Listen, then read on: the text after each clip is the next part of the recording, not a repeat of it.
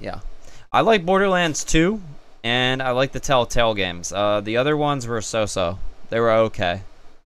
Um, I really got... I hate the gotcha boxes. They were annoying. I hate how you have to pay for these boxes. It's uh, The loot crates are annoying. Um, they always put out free on their... Um, if you followed them on Twitter, it, those were annoying. Um, publisher 2K and developer Gearbox are, have announced Borderlands 4. Here's the thing. People, they were probably trying to hype up Borderlands 4 with the release of that movie. And then the movie did like 10 million total.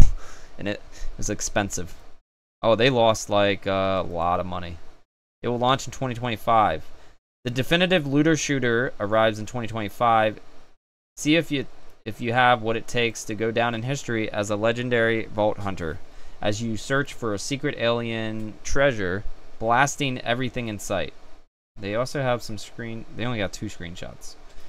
Probably from the trailer, so we'll take a look at this. Not actual gameplay.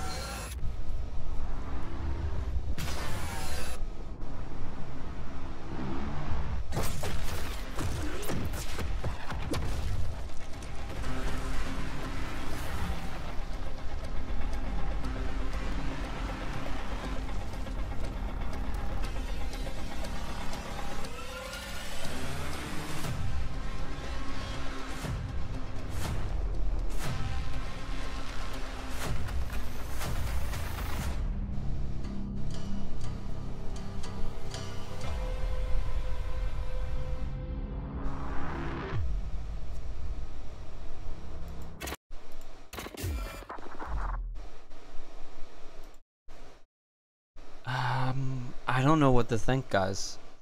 It look okay. I don't know anything. I can't be happy or sad with the trailer. The music is great. The graphics look great from that, what we've seen, but there's nothing else. There's no gameplay. So as soon as we see gameplay, then I can make a decision.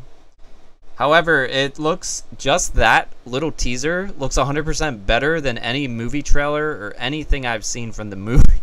The movie looks so bad. Ugh. Yeah. It got like a 3 didn't it it had a 0% on Rotten Tomatoes and went up to a 3%. That's how bad it was. People were not happy with that movie. Um, and here's another one. It's called Directive 8020.